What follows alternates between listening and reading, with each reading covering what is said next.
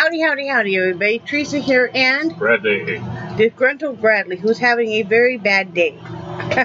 we'll tell you about that in a few minutes. It is August 23rd, 2016, Tuesday evening. It is 5.06 p.m. And what is the weather like, Mr. Heide? The current weather in Panacea, Florida is 93 degrees.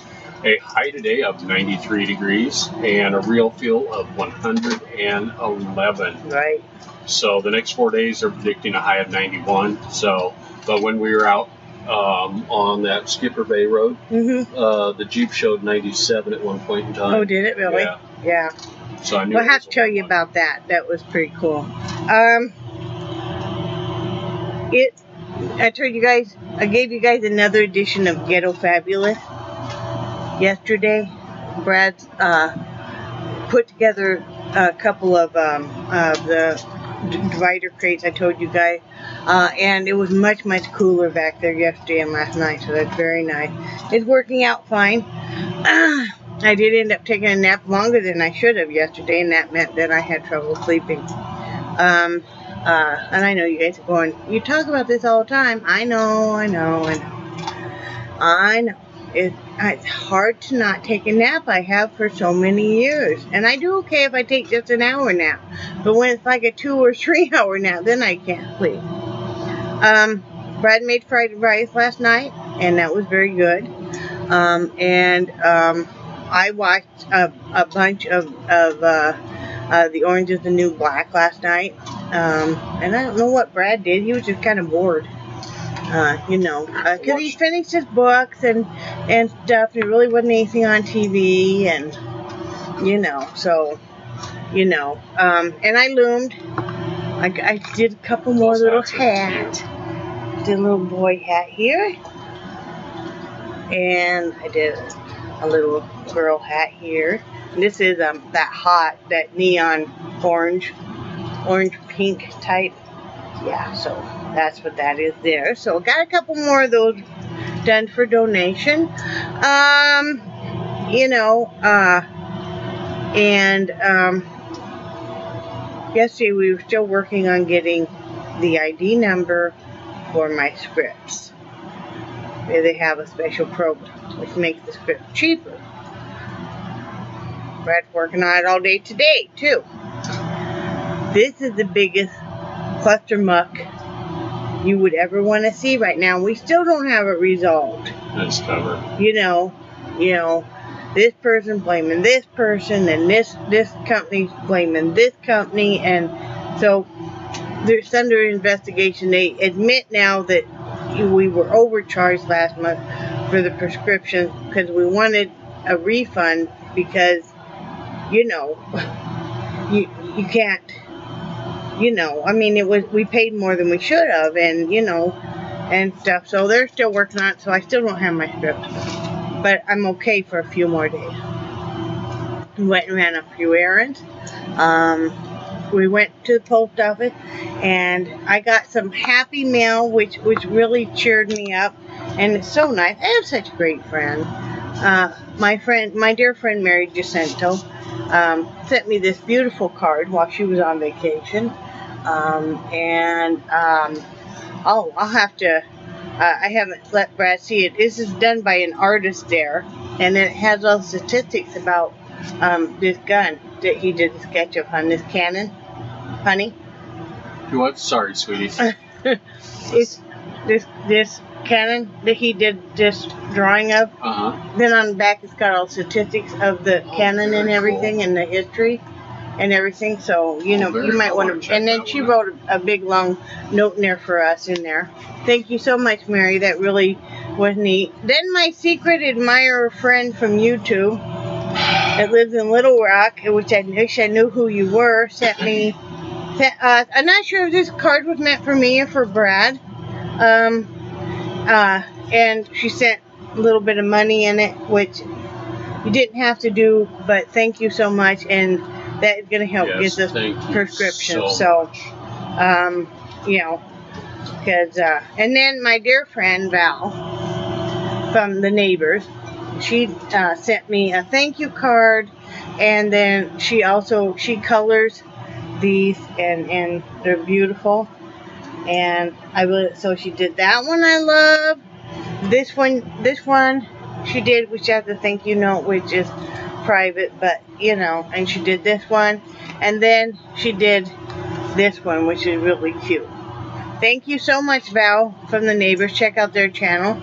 Um, and I, you know what I do with these is, um, well, the bigger one I'll hang up, but these smaller ones, I use them as bookmarks. So I see them all the time, you know, in my book. So that's lovely, you know. So I like to use cards that people have sent me as bookmarks because, like I said, then I see them all the time. It makes me think about you. So, um, you know, or if they're hanging up. Um, so, and then we went to the library and I checked out four movies. Um, I checked out this um, uh, Left Behind, which is one that Brad might like too.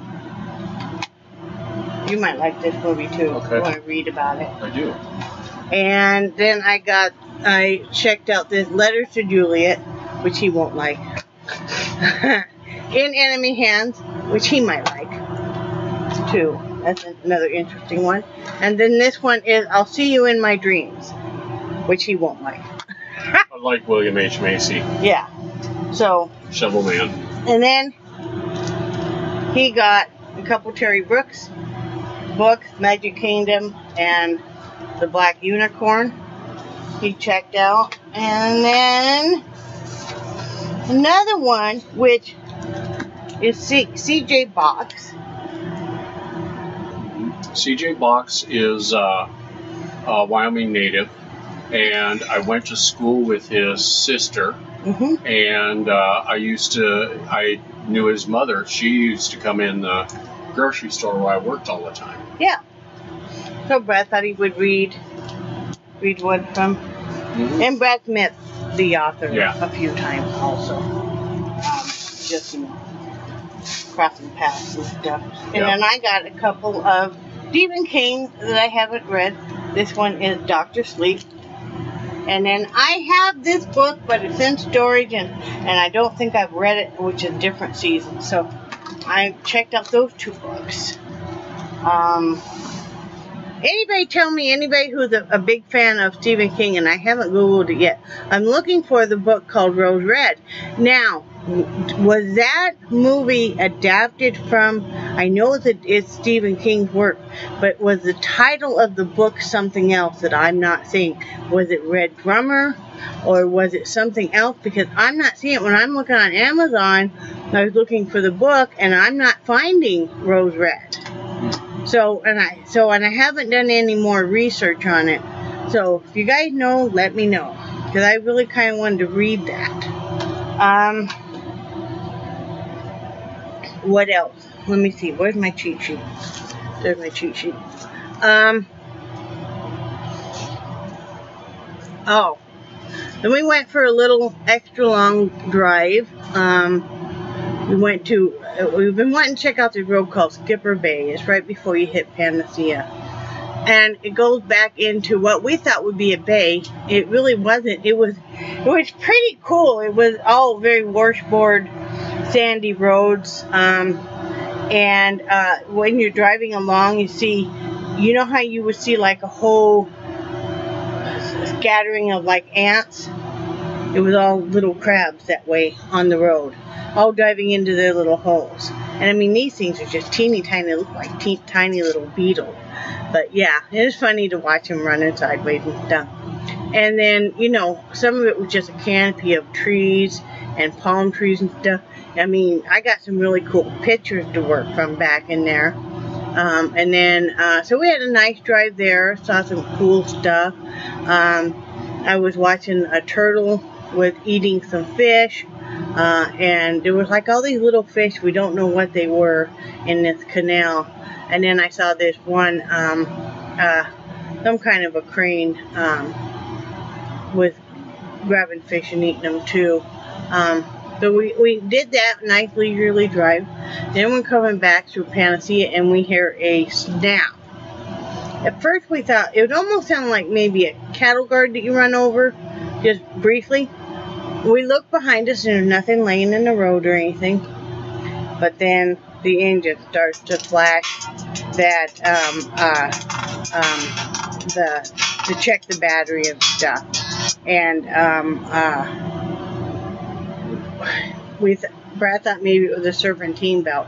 You know, we're shutting off everything. We shut off the air conditioner, open up the window, shut off the radio. You know, I unplugged the, you know, the USB cords, you know, so nothing's reading it. And I am praying as hard as possible for God just to let us get home.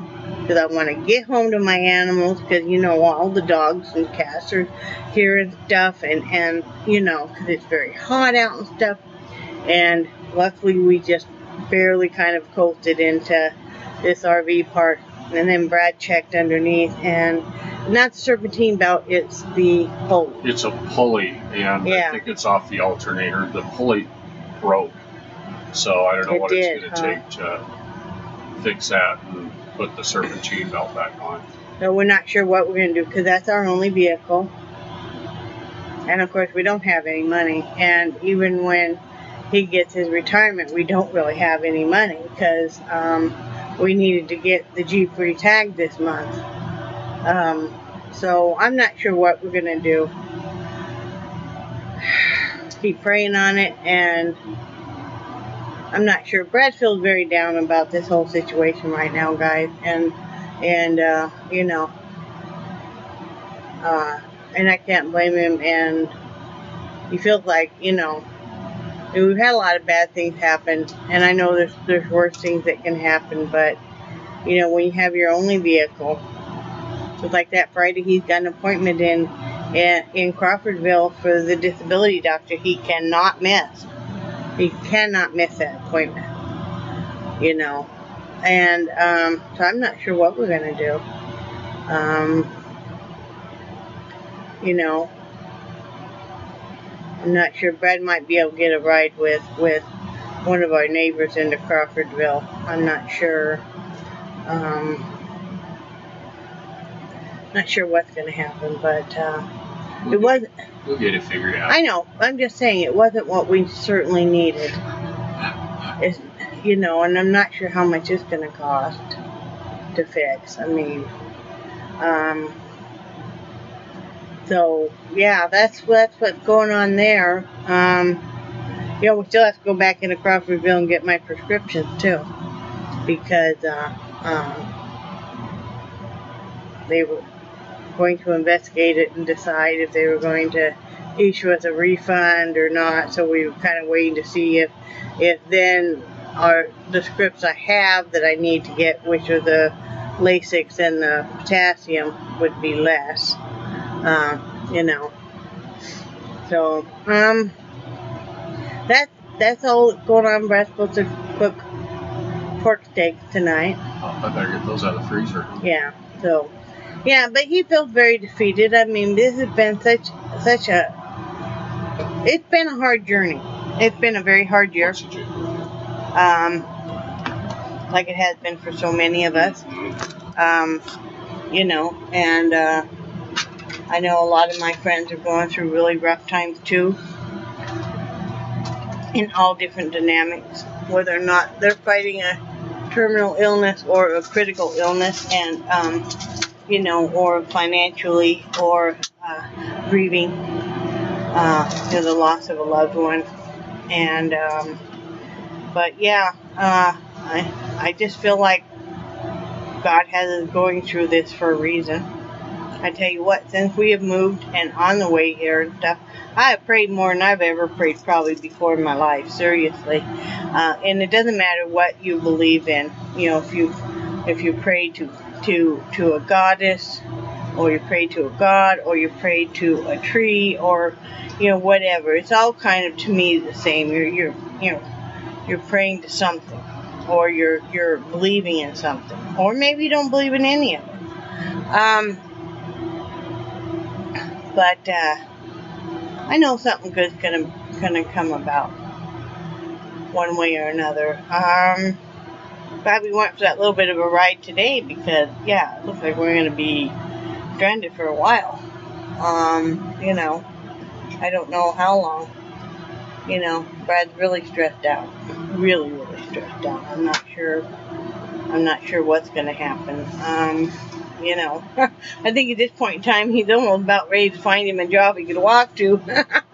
you know, because uh, yeah, but uh, so send good vibes because we really need this Jeep. Like I said, it's our only vehicle, and um, you know. Uh, we kind of need a vehicle. We don't live close to any services. You know, it's like even if we lived in Tallahassee, we'd be able to take a bus, but there's no services at all here. You know, and a taxi would be expensive. Um, so, you know, like I said, we know enough people that we probably could get a ride or borrow a vehicle or something, but, you know, hopefully. Um, that's all we really got. Like I said, Brad's just having a really crap day, and and you know. But I've got you, so that You've makes, got me. That makes it that makes it right. Okay, good, good, good. We'll get through it. We've been through rougher stuff. Yeah, we have. I mean, we've been through some rough stuff. Um, you know. Um, whatever your biggest fear is, a lot of times that, that whatever you worried about happening, that might happen, and then you're like, okay, you know, I was kind of concerned this might happen. I tell you what, though, we're in a better position right now having this breakdown than we were if we lived in Wyoming still because we would have nobody Yeah. to ask for a ride. Seriously. I mean, you know, our daughters, yes, but both of our daughters work and have their own families and are busy, and I don't want to burden them. But besides that, we would have nobody to ask. I, we wouldn't have any neighbors that would be willing to. I mean, you know, um, so yeah, it'll all work out. Um, but that's just what is going on, Yeah. right, hon? Right, baby. And um, yeah, keep on plugging away. Just keep on. I'm gonna keep on making my hats and uh, you know for donation. Um, you know, when I donate stuff, it's never that I feel sorry for anybody I'm donating to. I donate to people that that I I send stuff to my friends that I know can afford stuff. It, whether or not I give you a gift isn't based on whether I feel sorry for you or not. It's just because I like you and I love you and I, you know, made this for you. And it's the same way when I donate hats or any kind of knitwear. It's not that I pity people. I mean, uh, certainly we're in no position to be thinking of anybody else lower than us. You know, seriously Yeah. you know. And I know a lot of people say, how can you still donate when you guys are struggling so much? Well, but I have plenty of yarn. I and I have, you know, I have the ability to be able to do that. And I feel like, you know, when God gifts me with yarn and stuff, I've had a few friends, you know, this was like Christmas time and stuff. And and shortly after they sent me some yarn, like Deep Martin sent me my first ever CinDWood loom, which I still love. The two CinDWood looms I have, she she sent me, and then she sent me the first one a bunch of yarn, which just is wonderful. Um, you know, and that helped. And a few times, like when we were in Wyoming, I was able to find some some uh, cheap uh, yarn at um, uh, like uh, Goodwill and stuff. So you know, and I ran across a few auctions back when when I could still order a really good priced yarn. You know, so you know, I'm not worried about it. I one time I watched this one guy and he, he he made just he made just hats and I think he either knitted them or crocheted them. I think he knitted them. And what he would do is he only likes a certain kind of yarn is he would go to all the thrift stores and look for the the sweaters and stuff. And then he would unravel all the yarns from the sweaters Wow. and he would remake them into different hats. You know, and then he sold the hats. Wow. But it was pretty neat. But anyway, I know a lot of people are really struggling, really, really struggling with depression and with things being hard. And you know what? You just got to keep plugging along. You got to keep thinking each day is a new day and a chance for a better day and stuff. You know, I mean,